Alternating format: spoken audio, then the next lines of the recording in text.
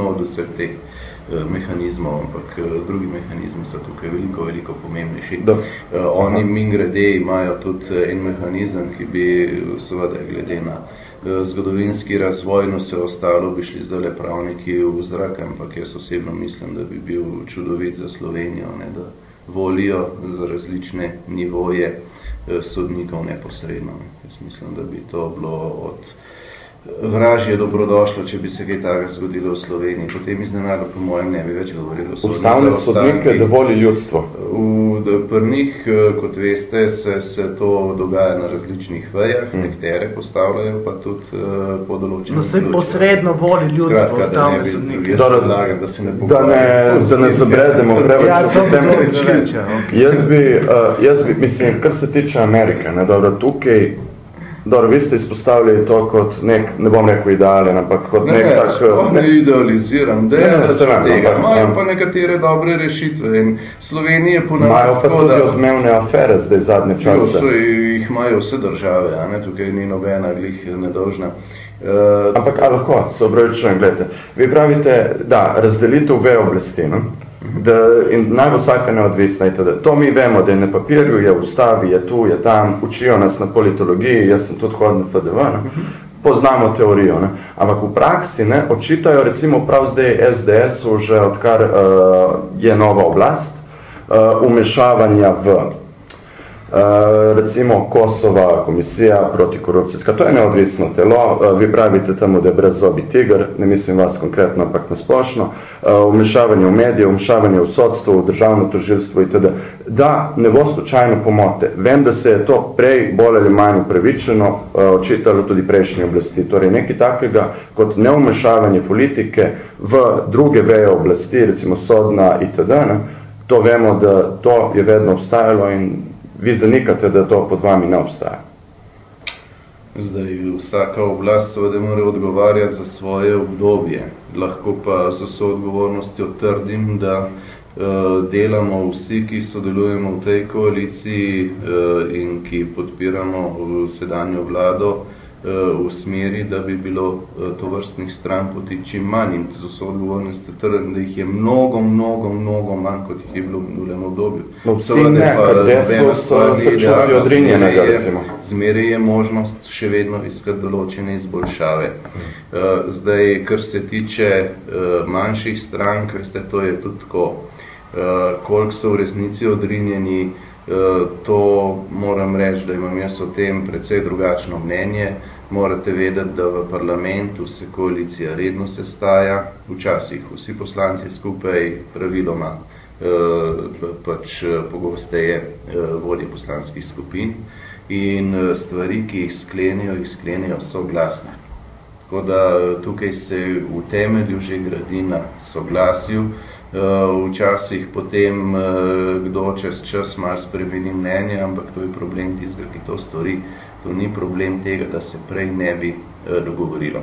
Če se pa k ničemu pritrdi in se potem spremeni mnenje, veste, to je pa ponavadi tisto, ne, da je pač m, to oblika vzbujanja pozornosti in uh, doskrat se tudi temu daje bistveno, bistveno preveliko težo. Sem vi vedno, recimo, to rečete, ne, da obstaja prej soglasje, če se pol naknadno nekdo, uh, če nekdo spremeni pač mnenje.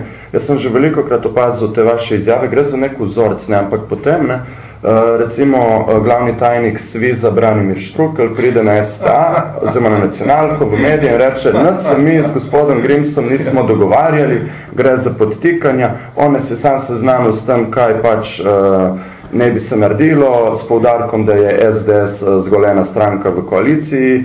Seveda govorimo o teh reformah v šolstvu, ne? oziroma, kot vi temu pravite, manjši popravki, ampak veliko krat vidim te demante. Torej, ponavlja se ta vzorec. Zdaj tukaj, če gremo po temu vzorcu in zazamemo vašo stran, ne, Veste, bomo dobili vas- teorijo zarote, da vas vsi hočejo zelo nekako demantirati. Uh, uh, ja, to, to je zelo zanimivo početje teh ljudi. Jaz osebno moram reči, da bi si želel verodostojnih sogovornikov. Uh, je pa tako, Evo, če, ste, če ste prisotni, so vedno izuzeti. Okej. Uh, v, uh, uh, kar se pa tiče teh pogovorov, je pa to tako, uh, da ljudje pač lahko potem stvari zanikajo, ki so se zgodile. Jaz osebno moram reči, da naslednjič, ko bom s preimenovanim eh, gospodom, eh, če bom še imel to čast, bom vsekakor zahteval, da se tam stvari podpišejo, tako da ne bomo potem govorili o tem eh, vsak po svoje. Ne? Uh, vsekakor je zato, ker sem jaz govoril kar nekaj prič, tako da te so seveda bile tudi na sej zrani. To tudi Štrukl pravi, da ima svoje. On pravi obratno, tudi on ima svoje prič. To bi sodišče moglo odločiti konc koncev. Ja, kakšno sodišče? Ja, ne, tam je vsak govoril nasprotne Če ste ga pozorno poslušali, na koncu tudi on povedal točno isto kot jaz. Samo zadeve je hotel obrniti toliko, da je pač eh, dajal vtis ne vem česa. Uh, in grede, bilo bi zelo zanimivo, če bi učitelji bili zraven, uh, pa si ogledali, sicer si pa lahko še vedno ogledajo, se je magnetogram na uh, internetu, mm. kaj se je v praksi zagovarjalo. Se se v praksi ne zagovarjalo, recimo, kaj so jim plač učiteljev, toliko. V glavnem so bila samo vprašanja, kakšne plače bodo imeli ravnatelji, torej tisti, ki so na funkcijah in podobno. Tako da to je že zelo zanimiva zgodba. Druga taka zanimiva zgodba je, da pač tisti, ki je sam ali pa oziroma njegova družina pač pridobila velik del znanja v zasebnih šolah, zdaj odreka drugim to možnost, ki bi jim bila dana brez ovir, brez šolnin, kajti vse šolnine bi se ukinile, najmanj, ker je take osebi mogoče učitati so dvojna merila. Uh, tudi to jaz mislim, da večina tistih ljudi, ki zdaj sodelujo v teh stvarih, sploh ne ve, da tega ne vejo niti učitelji, ki uh, podpisujejo min grede papir, ki je popolnoma neaktualen. Kajti tako, kot smo v resnici obljubili, smo tisti ključni uh, očitek, uh, ki izhaja iz papirja, ki se podpisuje, to je bilo financiranje po glavi učenca uh, v celoti črtali iz zakona. Uh, min grede, ko ste govorili o teh soglasih, takrat je bilo zelo jasno povedano, ko smo sedeli skupaj, smo posluhani, za vse pripombe smo rekli, vi bomo upoštevali, samo da se moramo pogovoriti v koaliciji, ker je pač koalicija tista, ki more doseči soglasje v rešitvah in da bomo storili vse, da se to upošteva.